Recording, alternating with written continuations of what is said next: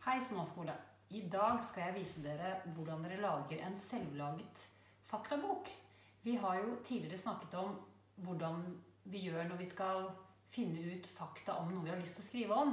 Da kan vi starte med en eh, liste over, for å finne ut hva vi har lyst til å skrive om. Når vi har funnet ut hva vi vil skrive om, så kan man lage et tankekart ut fra alt man vet om det man vil skrive om. Og så kan man finne ut hva man vil vite mere. Men i dag så skal jeg vise dere hvordan man lager litt annerledes bøker. Altså det vi putter fakta inn i.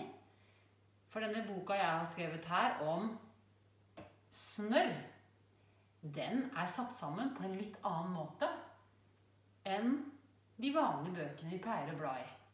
Denne boka her er en sånn utbredt bok som kan bli veldig lang.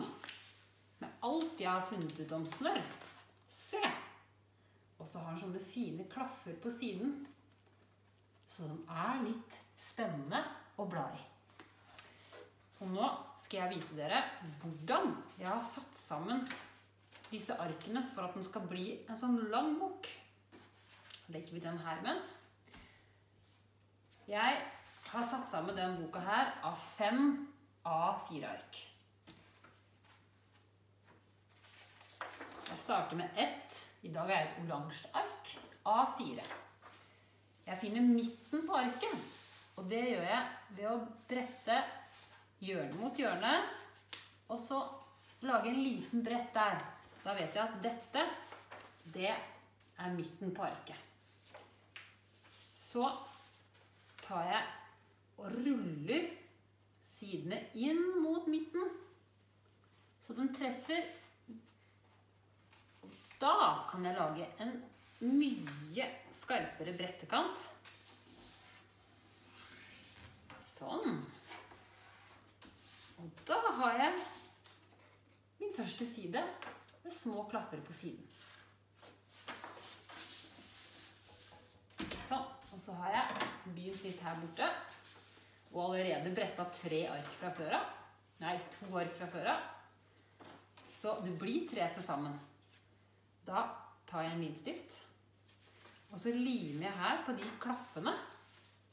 Så de skal sitte sammen.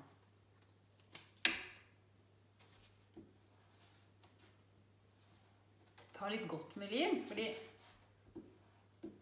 vi skal jo bla i den, så den kan løsne. Litt der.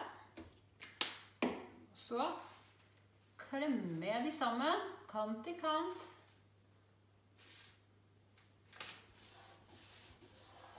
Og nå har jeg satt sammen tre av fire ark i oransje. Du kan sette sammen i hvit, eller av hvilken farge du vil hvis du har fargeark. Så nå ser dere, nå har jeg fått en bok som jeg kan mm, brette sammen og f.eks. ha en forside der. Men så så dere her at jeg hadde litt annerledes farger selve inni boka. Skal jeg vise dere. Se her, for her er det brune, og så er det sånn lysegult inni. Da skal jeg vise dere hvordan jeg har fått andre farger inni. Det kan være litt spennende. Da har jeg tatt, I dag tar jeg grønn. Da har jeg tatt et A4-ark igjen. Bretta det på to. Delte akkurat her på midten. Og så klipper jeg så forsiktig og rett jeg kan etter den bretta streken.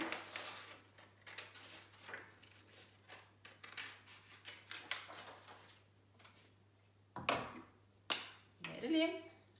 Da kan jeg brette den siden. Lime den siden inni der, så får jeg grønne sider og oransje klaffer.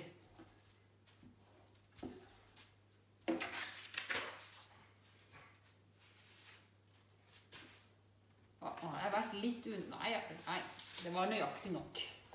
Da har jeg jo en til her. Så limer jeg fast den her. Og hvis du vil, det kommer jeg på nå, så kan du ha forskjellige farger. Du trenger jo ikke ha lik farge inni alle. Du kan ha en grønn, og en rosa, en blå. Det bestemmer du. Nå har jeg to grønne og en oransje. Da kan jeg brette igjen på nytt. Og boka er klar for å fylles. Med akkurat det du har lyst til å finne ut mer fakta om.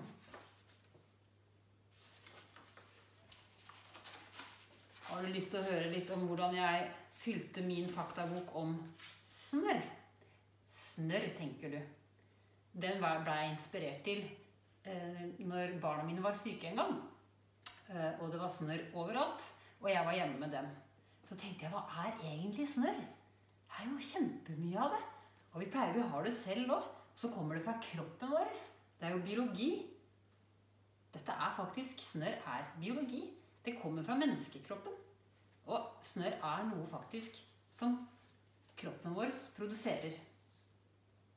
Fordi en buse Når du puster inn gjennom nesa, blir bakterier og virus og støv og pollen sittende fast i det slimet du har oppi nesa. Etter hvert så størkner slimet, og alt dette smusset, det størkner til en wow! Du har fått din første buse. Ord med snørr. Snørrklut, snørrvalp, snørrunge og snørrviktig. Kan du noen flere ord som har snørrelse? Ja,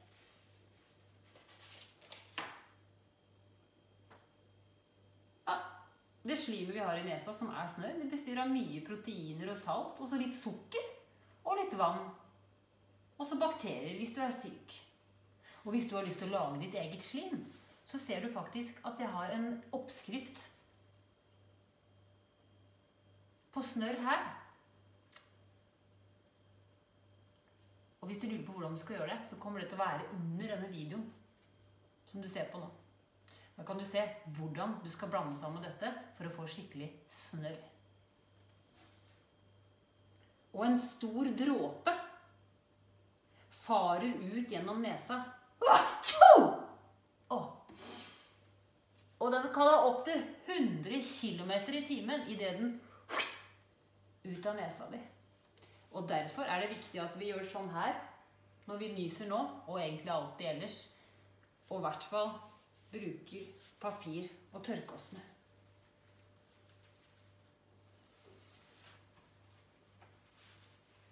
Og før i tiden er bra vi ikke lever da.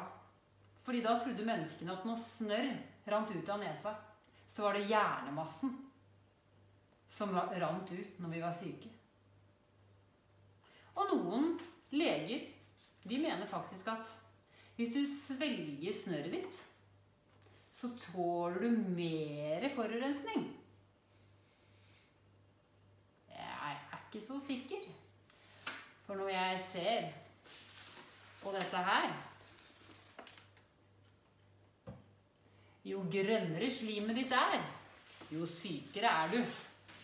Jeg vil ikke sverge av det.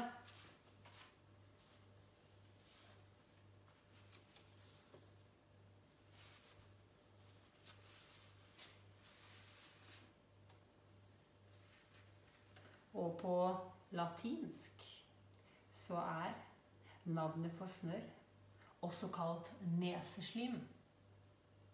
Mucus. Så nå lurer jeg på hva du vil fylle din selvlagde faktabok om.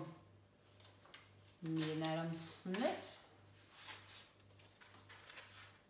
Hva vil din være om? touch.